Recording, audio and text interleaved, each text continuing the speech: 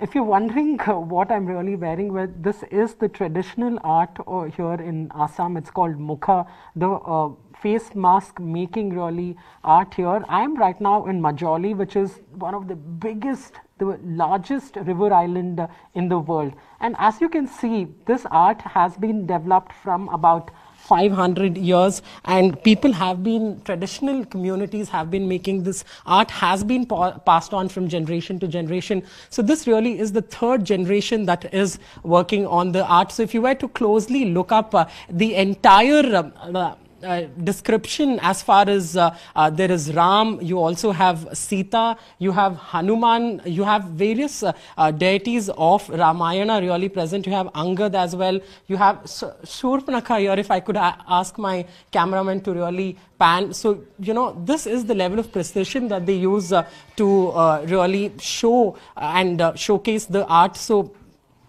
this has been passed down from generations uh, and let's try and understand uh, how long they have been doing this uh, what's the response that they've got for this art uh, धन्यवाद करने के लिए आप ये बोलिए कितने साल से जो है आप ये कर रहे हैं और uh, क्योंकि ये uh, पीढ़ियों से चलता आ रहा है नमस्कार हमारा ये जो कला है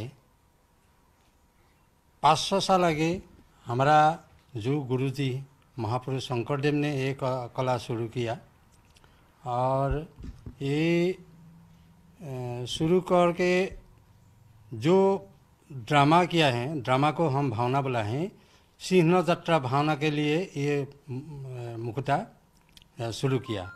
और 500 साल पर हमारा ये सत्र में ये मुकुटा परंपरा से हमारा पिताजी पिताजी का पिताजी पिताजी का पिताजी यही से अभी तो चल रहा है। मेरा नाम प्रदीप गोस्वामी। हमारा ये जो मुखता मुखता तो ड्रामा के लिए रामायण और पुराण का जो कहानी कहानी के लिए। ठीक है। ये बताइए कितने दिन लगता है एक मास्क बनाने के लिए? मैंने हनुमान जी का पहना था उसको बनाने में कितना दिन लगा? हमारा जो मुखता मुखता तीन प्रकार है। बड़ा मुखता और लतोकाई मुखा और मुख मुखता है। ये तीन प्रकार मुखता है। मुख मुखता बनाने के लिए चार पाँच दिन लगता है। और बड़ा मुखता बनाने के लिए एक महीना। एक महीना। एक महीना। और लतोकाई मुखा बनाने के लिए पंद्रह दिन लगता है। Okay, वो size पे depend करता है. So basically he's trying to say all the big masks that you see around takes about a month, uh, the smaller one about 15 days. Uh, so something like this would take about four days. As you can see, this really is the base of uh, uh, the mask. It's bamboo that they use. Later on, they add clay and cow dung to it and then paint it with natural uh, uh, colors really. So if this mask will take about three to four days to make, that's the level of precision.